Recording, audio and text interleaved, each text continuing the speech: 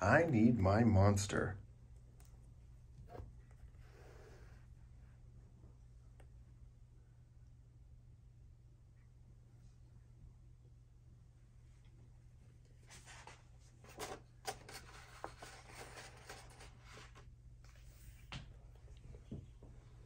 Tonight, when I looked under my bed for my monster, I found this note instead.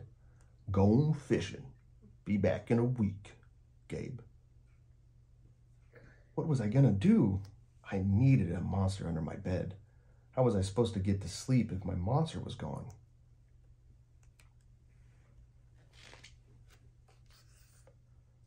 I tried to sleep, but it wasn't the same without Gabe. I missed his ragged breathing, his nose whistling, the scrabbling of his unclipped claws. How would I ever get to sleep without Gabe's familiar scary noises and his spooky green ooze? It was no use. Gabe would be gone for a week and I just had to have a monster. I climbed quietly out of bed so my parents wouldn't hear me. Grown-ups have some strange idea about monsters under beds. I knocked on the floorboards, then scrambled back under my covers. I waited nervously. Would a new monster appear? What would he be like? Would his snorting be as cheerful as Gabe's?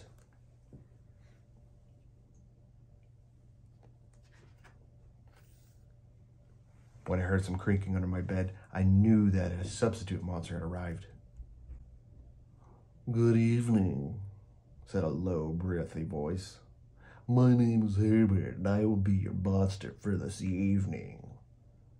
Herbert? What kind of name is that for a monster? You don't sound scary at all. Have you ever even scared a kid before? Well, no, but I read all the best books on the topic. Do you have long teeth and scratchy claws? I asked. No, but I have an overbite. And I'm a mouth breather. Listen. Herbert's panting was kind of scary, but it wasn't enough for me.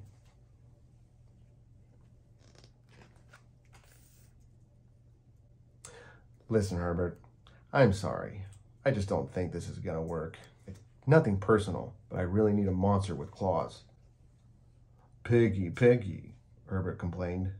As you wish, I'll go. There was some more creaking, then Herbert was gone.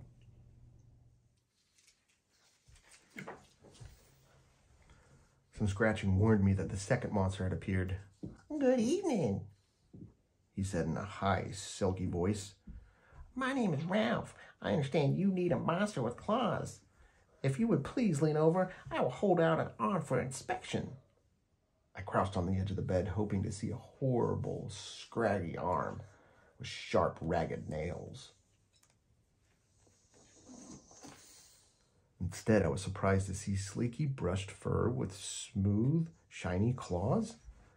Uh, excuse me, I don't mean to be rude, he asked. But is that nail polish on your claws? Oh, yes, it is. Ralph replied. I believe professional monsters should always be well groomed. I could tell that this was not going to work either. I'm sorry to disappoint you, Ralph, but I need a monster with scary claws. Like Gabe's, I thought. I heard some more scratching, and I knew Ralph was gone.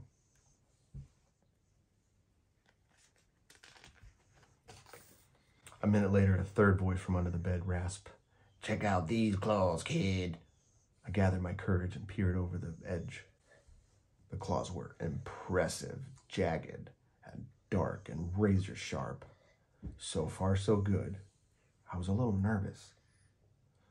Could you stick out your tail? I whispered. Sure, but don't get scared.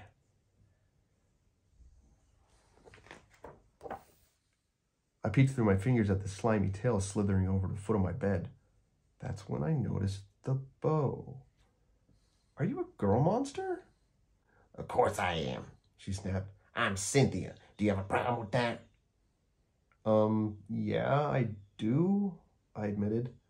I definitely need a boy monster. Boy monsters are for boys, and girl monsters are for girls.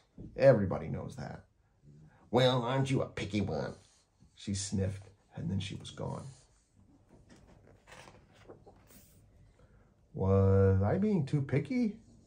No. I knew that my monster needed to be well clawed and menacing. The whole point of having a monster, after all, was to keep me in bed, imagining all that scary stuff that would happen if I got out.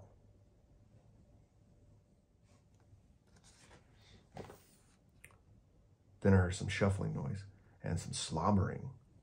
A fourth monster was under my bed. Hey, my name's Mack.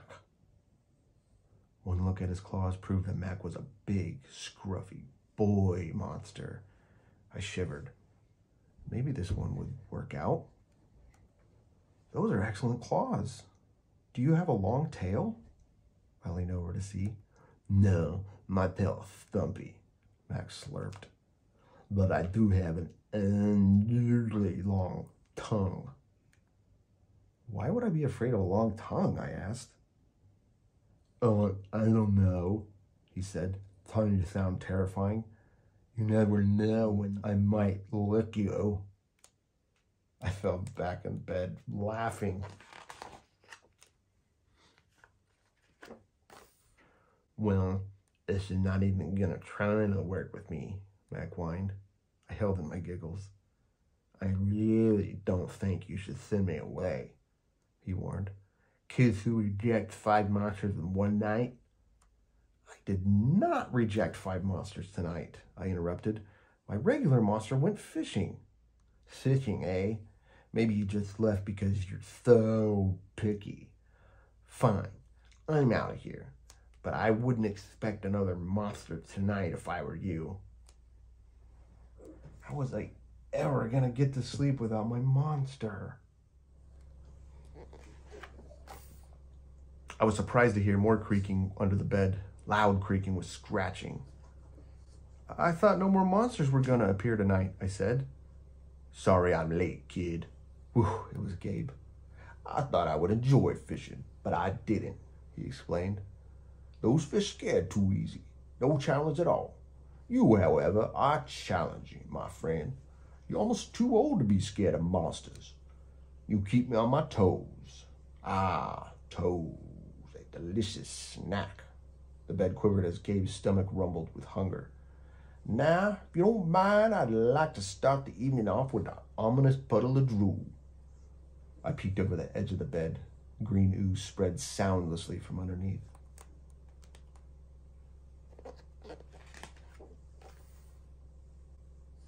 Then the bed trembled as Gabe unfurled his spiked tail. He was daring me to guess where he might pop up. I shivered.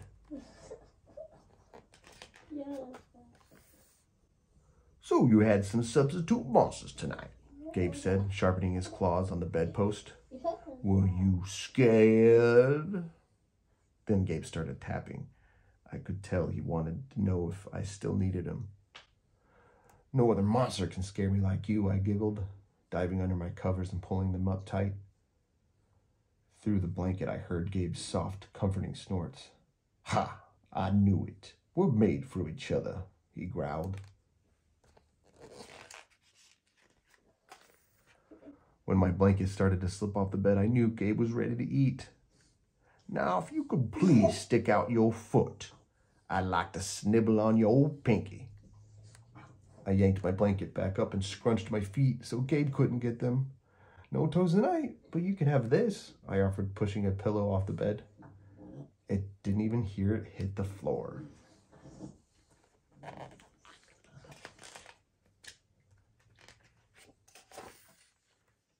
Gabe was back. The ooze was perfect. Everything was back to normal. I shivered again. I'd be asleep in no time.